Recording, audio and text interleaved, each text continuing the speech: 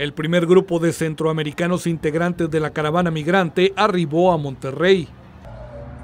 Provenientes de la Ciudad de México, el grupo de unas 30 personas encontró asilo, comida y atención médica en Casa Indy, un albergue para indigentes que se ha convertido también en refugio para migrantes. No hemos venido adelante, otros ya estamos adelante. Estamos esperando a los demás para reunirnos porque siempre hacemos eso. Llegamos a un punto, esperamos a los demás, reunirnos todos. Huyendo de la delincuencia, el desempleo y la violencia de sus países, miles de centroamericanos se unieron a la caravana migrante que partió el 12 de octubre de Honduras en búsqueda de atravesar México y llegar a la frontera con Estados Unidos.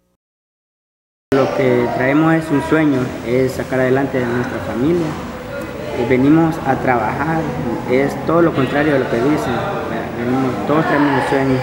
Hay peligro en nuestros países, hay crímenes por todos lados hay asesinatos, allá pues no perdonan, tienen uno de hombre corre peligro todo el tiempo, igual la mujer también.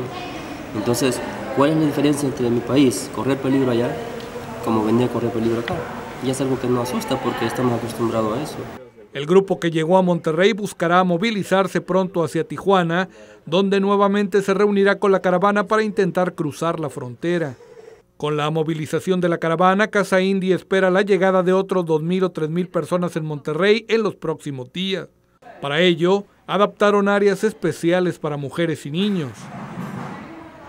La coordinación del lugar pidió a los regiomontanos respetar a los migrantes y apoyar en la medida de sus posibilidades para que su tránsito sea más ligero.